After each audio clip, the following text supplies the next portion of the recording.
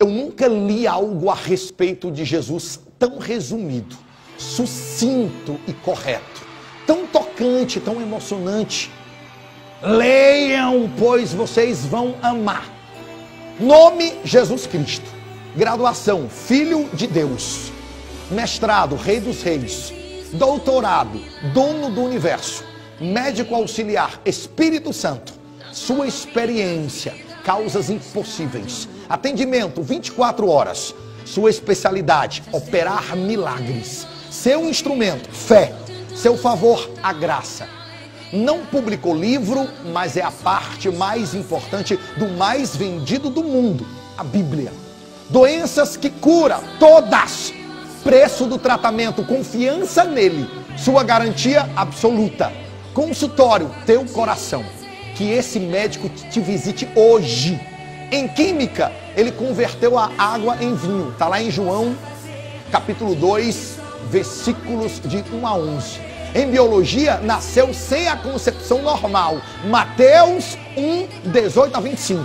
Em física, desmentiu a lei da gravidade. Quando andou sobre as águas e subiu aos céus. Está lá em Marcos, na Bíblia, capítulo 6, versículos de 49 a 51 em economia, ele refutou a lei da matemática ao alimentar 5 mil pessoas com somente cinco pães e dois peixinhos. E ainda fazer sobrar 12 cestos cheios, lotados. Mateus, capítulo 14, versículos de 17 a 21. Em medicina, curou os enfermos e os cegos sem administrar nenhuma dose de medicamento Mateus 9, 19 ao 22 e João 9, de 1 a 15. A história é contada antes dele e depois dele. Ele é o princípio e o fim. Ele foi chamado maravilhoso, conselheiro, o príncipe da paz, o rei dos reis e senhor dos senhores. Isaías 9:6. Na Bíblia diz que ninguém vem ao Pai senão por ele. Ele é o único caminho a verdade e a vida. João 14, 6. Então, quem é ele? Ele é Jesus. Os olhos que leem esta mensagem não temerão mal. A mão que enviar esta mensagem não trabalhará em vão. O maior homem da história, Jesus.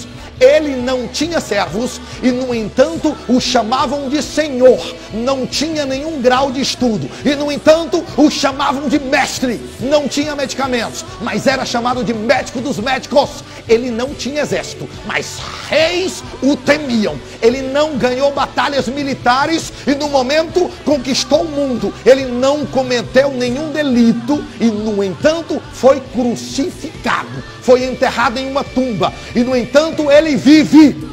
Me sinto honrado em servir a este líder que nos ama.